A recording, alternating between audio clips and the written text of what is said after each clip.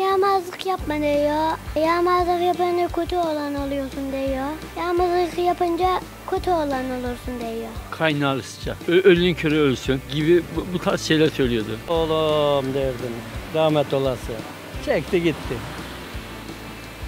Bende hiçbir şey yok. Anne de yok, baba da yok. Hanım da yok. Tek başıma yaşıyorum. Benim annem küçük yaşta öldü onun için bilmiyorum yani. Ben sana demiştim. Hep ben haklıyım olabilir. Kıymetimi öldükten sonra bilirsin diyorlar. Parayı karı kıza yedirme. CNG Haber'den herkese merhaba. Eğlenceli içeriklerimizle sokak röportajına devam ediyoruz.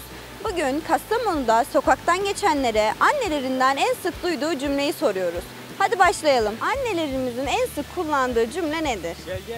Ablacığım annemizin rahat dur. Kavga etme. Adam gibi ol, oku, çalış. Oğlum derdim. Rahmet olası. Çekti gitti. Bende hiçbir şey yok. Anne de yok, baba da yok. Hanım da yok, kayınvalide de yok. Bir tek başıma yaşıyorum. Kaynağı sıcak.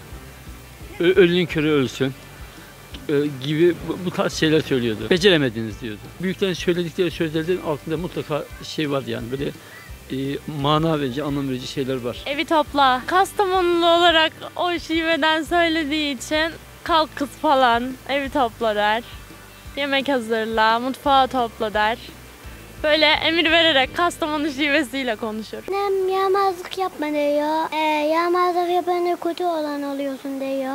Yağmazlık yapınca kötü olan olursun diyor. Parayı karı kıza yedirme. Odanı topla olabilir. Ben sana demiştim. Hep ben haklıyım olabilir. Çok zaman oldu annemi kaybedeli. Evet anne deyince zaten bütün her şey bitiyor zaten orada. Odanı topla falan. Öyle şeyler yani. Yardım et.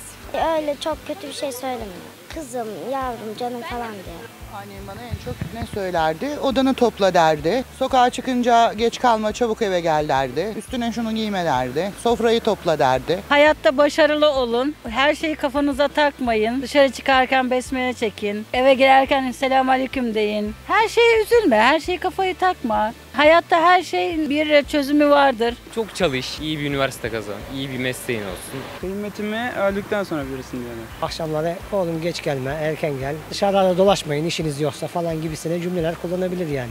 Annemden en sık duyduğum cümle kendine dikkat et. Anne her şeydir bana göre. Ee, annemizden en çok duyduğumuz şey evi topla. Ders çalış, masayı topla. Nereye bıraktıysan oradadır.